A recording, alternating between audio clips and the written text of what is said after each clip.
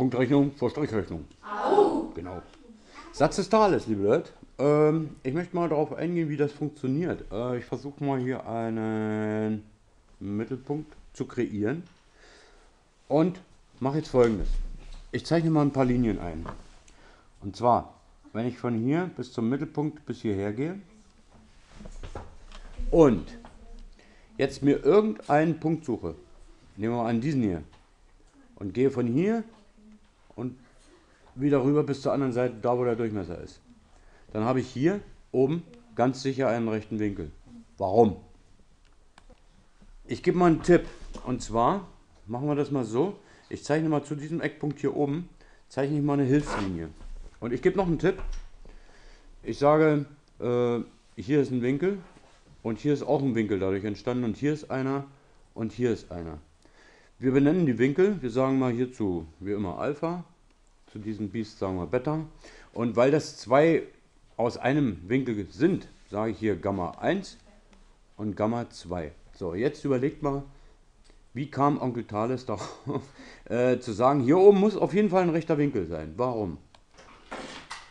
So, wir sind jetzt gerade hier am Malen, jeder malt dieses Dreieck ab und wir sind am Versuchen, das zu beweisen. Ich habe dieses Dreieck, was ich hier was hier entstanden ist, das dunkelgrüne, habe ich mal mit A, B, C benannt. Also hier Punkt A, B, C und trotzdem bleibt der Mittelpunkt des Kreises M. Hier oben nochmal zum Lesen Gamma 1, Gamma 2, Beta, Alpha.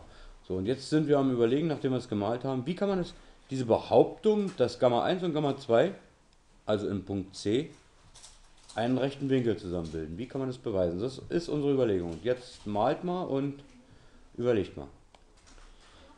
Wunderbare Erkenntnis. Ich schreibe mal was ran. Strecke AM, CM, BM sind alle gleich lang. Und diesen Tipp, den mache ich mal so. Jetzt überlegt mal weiter. So, jetzt haben wir folgendes herausgearbeitet und zwar die Winkel Alpha und Gamma 1 müssen gleich sein, weil sich dieses Dreieck und zwar AMC oder ACM oder CAM weil das ein gleichschenkliches Dreieck ist. Denn wir haben es hier jedes Mal mit Radien zu tun. Das wissen wir aus vergangener Zeit, dass bei gleichschenklichen Dreiecken die beiden Eckwinkel da gleich sein müssen. Das gleiche haben wir hier, dieses rechte Dreieck. Also MBC muss auch gleichschenklich sein, ne, hat beides mal Winkel R. Und jetzt sieht man eindeutig, dass das nur gleichschenkliche und keine gleichseitigen Dreiecke sind. Demzufolge müssen deren Eckwinkel auch Gamma 2 und Beta auch so gleich sein. Und jetzt müssen wir überlegen, wie geht's weiter. Noch ein Hinweis, vielleicht kommen wir ja über die Innenwinkelsumme des Dreiecks klar. Und zwar des großen hier. Von A, B, C. Innenwinkelsumme ist 180 Grad. Wenn einem das, wenn man sagt, naja, ich weiß nicht, ob das hilft, dann schreiben wir mal, hm. Drittens, Dreieck ABC, ABC, Pfeil Innenwinkel gleich 180 Grad. Alle zusammen, ne? Okay, vielleicht hilft es ja. Jetzt mal den Tipp, jetzt machen wir mal die dritte Erkenntnis, die, die schreiben wir uns mal als Formel hin. Das heißt also 180 Grad, haben sie schon gemacht, die Lieben, ist Alpha plus Beta plus Gamma 1 plus Gamma 2. Und jetzt arbeitet mal ein, was wir vorhin hier bei erstens und zweitens rausgehabt haben. Äh, ich gebe den Tipp nochmal anders. Wir hatten doch zum Beispiel gesagt, ähm, das wäre eine, ach, das wäre eine Deckseite, das wäre eine Grundseite und wenn die beiden gleich sind, kann ich sagen, also wenn Grundseite gleich Deckseite ist, dann sage ich, okay, V ist gleich Grundseite mal Körperhöhe. Dann kann ich Grundseite und Deckseite als G bezeichnen. Könnt ihr euch erinnern? Okay. Jetzt haben wir viele gute Ideen. Bloß leider wurde etwas verwechselt. Ich, ich ordne mal um, ja. 180 Grad ist gleich. Und wir hatten gesagt, hier oben, Alpha ist Gamma 1. Ich schreibe die beiden mal hintereinander. Alpha plus Gamma 1 und demzufolge plus Beta plus Gamma 2. Äh, nebenbei gesagt. Die sind gleich, egal wie groß sie insgesamt sind. Und die sind auch gleich. Wie kann man das noch besser hinschreiben? Genau so ist es, frisch nach der Pause. Wir haben vorhin eine Erkenntnis gehabt. Wenn Alpha und Gamma 1 gleich sind, dann kann ich auch sagen 2 mal Alpha. Ne? Also kann ich sagen, 180 Grad ist gleich 2 Alpha plus, und hier kann ich auch sagen, plus 2 Beta. So, was wird das wohl ergeben, wenn ich jetzt, ähm, wollen wir mal ausklammern? Wie, wie klammert man aus, die 2? Wir haben ausgeklammert, 180 Grad ist 2 mal Alpha plus Beta. Wie geht es jetzt weiter? Wir wollen ja letzten Endes ran, dass Gamma 1 und Gamma 2 zusammen 180, äh, 90 Grad ergeben. Hm, hm, hm, hm. Achtung, wir machen mal was, was wir ganz normal können. Wir lassen mal Alpha und Beta alleine stehen. Ne? Äh, wir teilen mal durch 2. Dann haben wir hier auf der Seite 90 Grad ist gleich Alpha plus Beta. Ne? Ja, blöderweise wollen wir aber Gamma 1 und Gamma 2 haben. Ganz genau. Und jetzt kann man, wir haben eben das Falsche praktisch äh, ersetzt. Wir hätten nicht zwei Alpha und zwei Beta schreiben können, sondern zwei Gamma 1 und zwei Gamma 2. Wenn wir das jetzt wieder rücktauschen, also Alpha ist ja Gamma 1 und Beta ist von der Größe her Gamma 2, kann ich auch sagen, 90 Grad sind Gamma 1 plus Gamma 2. Sehr schön, liebe Leute. Das war wirklich, das war eine Leistung. Das habt ihr fein insgesamt kollektiv zusammengebastelt. Und das ist ja das, was wir letztens beweisen wollten. 90 Grad soll Gamma 1 plus Gamma 2 sein. Gucken wir mal. Gamma 2 und Gamma 1 zusammen sind 90 Grad. Ähm, das kennt ihr, ne? Q, E, D. Quod era demonstrandum, was zu beweisen war. Man könnte auch, früher hat man geschrieben, W, Z, B, W. Hat man dann als Mathematiker drunter geschrieben oder QED. Quod era demonstrandum. So, äh, kurze Pause. So, jetzt kam noch aus der Schülerschaft eine Idee. Und zwar, wenn ich folgendes mache, ich nehme das nochmal zurück, aber ihr ahnt schon, worauf es drauf ankommt. Wenn ich mich frage, ist dieser Winkel ein rechter? Ist das wirklich ein rechter Winkel? Dann kann ich folgendes machen. Ich nehme einen Zirkel, steche hier ein, ermittle, steche hier ein den Mittelpunkt. Ne, der wäre dann hier. Und wenn ich jetzt hier das in die Zirkelspanne nehme, also von hier bis hier, äh, von Mittelpunkt bis an Punkt A zum Beispiel, und einen Kreis drum mache und es liegt der Punkt C, oh je, mein Kreis ist nicht schön, aber ihr ahnt was, und es liegt der Punkt C genau auf dem Kreis, dann kann ich sagen, es ist ein rechtwinkliges Dreieck. Wunderbar. Schön, sehr schön, sehr schön, sehr schön. Prima. Das ist eine Überprüfungsmöglichkeit. Prima. Dann machen wir doch mal eine Übung. Klar. Ihr nehmt ganz einfach einen Zirkel und macht einen Halbkreis.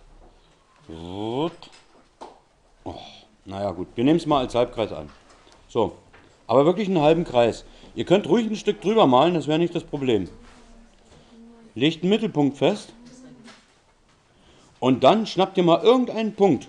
Ich mache hier so einen grünen Punkt und malt mal ein Dreieck ein. Jetzt machen wir es erstmal so rum. Dann messt ihr mal, ob das ein rechter Winkel ist. Also das erstmal messen. Und danach machen wir die Übung umgekehrt. Da malen wir zuerst ein Dreieck. Na, schwarz so.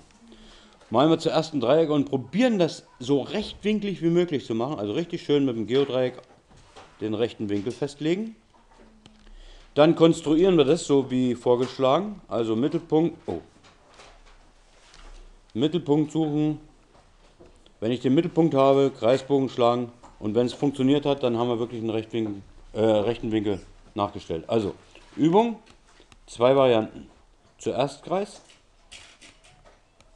zuerst Kreis, plus Punkt C. Ja, nennen wir den C. Also ich mache mal hier C. Und dann zweite Übung. Zuerst Dreieck, dann Kreis. Kommen dann noch zu speziellen Begriffen zu diesen Kreisen, wie die heißen. Ne? Also probiert es mal aus. So, jetzt in diesem Fall hier, also in diesem, hat das nicht geklappt. Aber wie kann man ein rechtwinkliges Dreieck malen?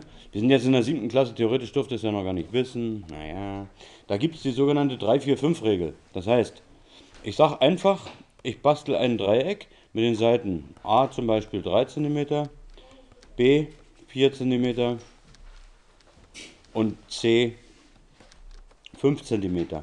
Das macht man mit einem Zirkel. Also, man nimmt in den Zirkel zum Beispiel, wir fangen an, das wäre Seite, Seite, Seite, ne? 5 cm und hat schon mal die Strecke C. Jetzt sticht man hier ein, nimmt in den Zirkelspanne, äh, in den Zirkel eine Spanne von 4 cm und macht einen Kreis. Dann nimmt man, also das wäre theoretisch hier, irgendwo ist Seite B. Irgendwo, wissen wir noch nicht wo. Warum, ist klar, weil ich die Seite A noch nicht habe. Also hier irgendwo entsteht B. Hier ist Punkt A, hier ist Punkt B. Dann sticht man den Punkt B ein und nimmt jetzt 3 cm in die Zirkelspanne und schwupp. Und da, wo die sich schneiden, da ist letzten Endes mein Punkt C. Und dann kann ich davon ausgehen, dass ich hier einen rechten Winkel habe. Und dann probiert das nochmal, Mitte suchen und außenrum den Thaleskreis, sagt man auch dazu.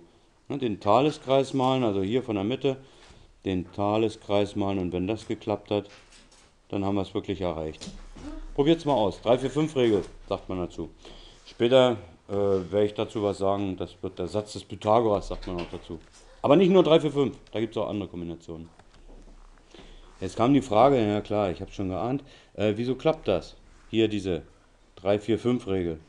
Ähm, das war auch ein Grieche und der hat rausgefunden, das ist Pythagoras hieß der, und der hat gesagt, warte mal, wenn ich die Seiten hier, wenn ich die Quadrate davon bilde, also das heißt hier 25 Quadratzentimeter, hier 16 Quadratzentimeter und hier 9 Quadratzentimeter und ich sage 9 Quadratzentimeter plus 16 Quadratzentimeter erhalte ich 25 Quadratzentimeter, habe ich vergessen, genau. Wenn ich das also hinkriege hier,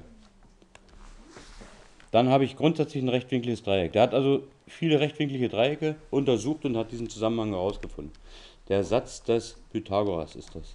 Also das hier, der hat gesagt, die Seite c zum Quadrat ist gleich Seite a zum Quadrat plus Seite b zum Quadrat. Ich sage mal immer kurz, kurz äh, Pythagoras, also Pyti sage ich mal dazu. Pythagoras. Pyti geht schneller. Pythagoras hat das rausgefunden hier, diesen Satz. Und der ist eine ganz schlaue Geschichte. So kann man immer drei äh, Dreiecke zeichnen, die einen rechten Winkel oben drin haben. Und jetzt musste das auch mit unserem Thaleskreis funktionieren.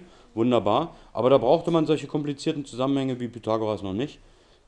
Sondern mussten wir diesen komplizierten Zusammenhang zusammenbasteln. Also ein bisschen umdenken, um die Ecke denken und einfach mal Winkel kombinieren.